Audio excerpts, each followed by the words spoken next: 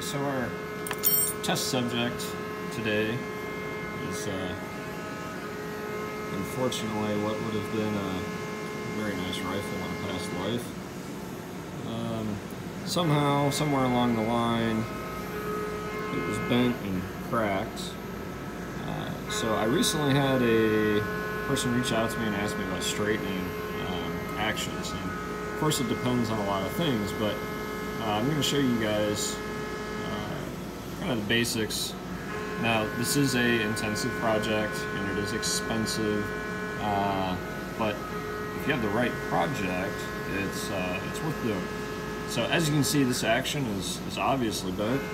Um, I'm to snug it up and uh, I'm to show you in another short little clip how to apply a little extra pressure.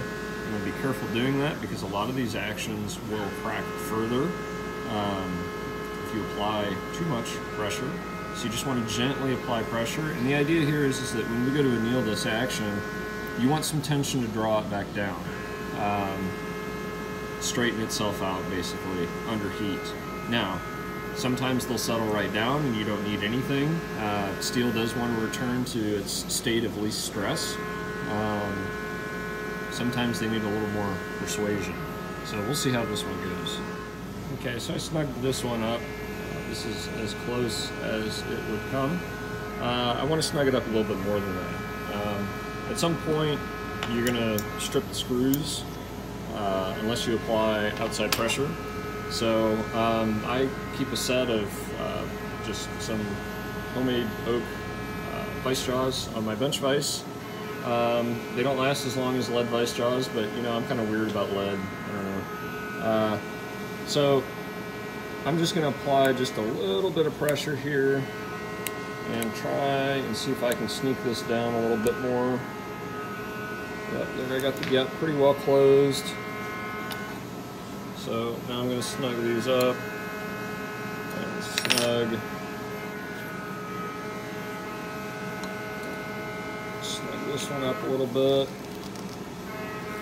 That one's as snug as it'll go.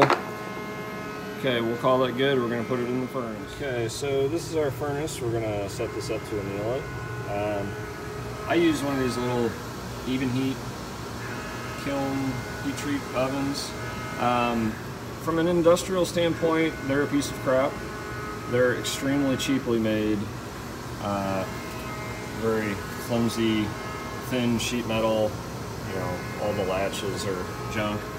Uh, but it gets the job done for most things. Um, you know, if you're if you're not going to be doing a lot of heat treat and stuff like that, um, occasional annealing, um, that sort of thing, this is a heck of a lot more convenient than firing up uh, a set of big natural gas uh, heat treat ovens, um, which you know I have but I don't use. So uh, this is this is a lot more convenient. So set to 1150, that's typically what I anneal uh, low carbon steel at. Uh, it does produce a small amount of scale, which you'll see when this is done. Um, yeah, uh, I soak it for about an hour. Um, so this will ramp up to 1150 and then it'll hold at that temperature for an hour. Uh, and uh, I'll show you guys when, when we pull it out what it looks like. I always thought this was really neat. I don't really understand the chemistry or the science. Still pretty warm, but I think that's the bluing, oxidation. I don't know. I just thought it was neat how it forms these little curls. I've seen that numerous so we're all done. Now the question is, did it work?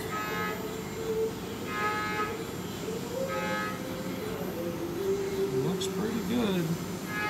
You see there's a slight gap there. Since the screw was pulling it down, it probably bowed just a little bit here down. But